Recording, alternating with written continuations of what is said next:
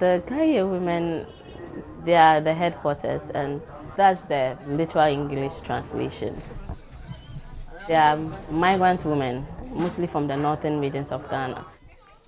They come to the cities, urban centers, slum, cities in all the regions. And what they basically do is that they help the market women or the traders and the sellers to carry their goods from one point to another.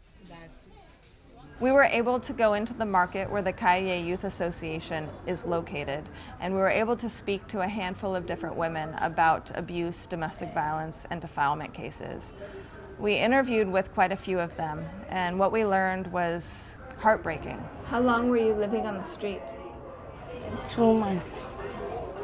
Uh, when I came the first time, we were sleeping outside.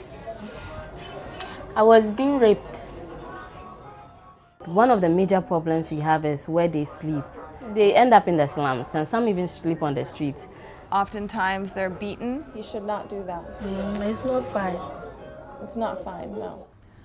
I think that there's a huge discrepancy between the literature and the actual number of women who have been abused because of the cultural mindset. We need a kind of system that would even educate the Kayis on their rights, on this is not acceptable, this is actually abuse. About 70% of the women have experienced some form of violence against them. When you do your research in Ghana, there are not many shelters for any women or for women when it comes to domestic violence and abuse of any kind. Through our partnership with Unsilenced Voices, we can support them in that area.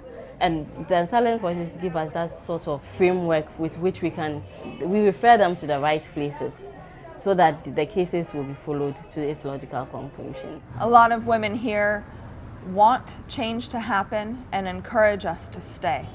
We need authentic partners and you are, you are, you are really proving to be very authentic.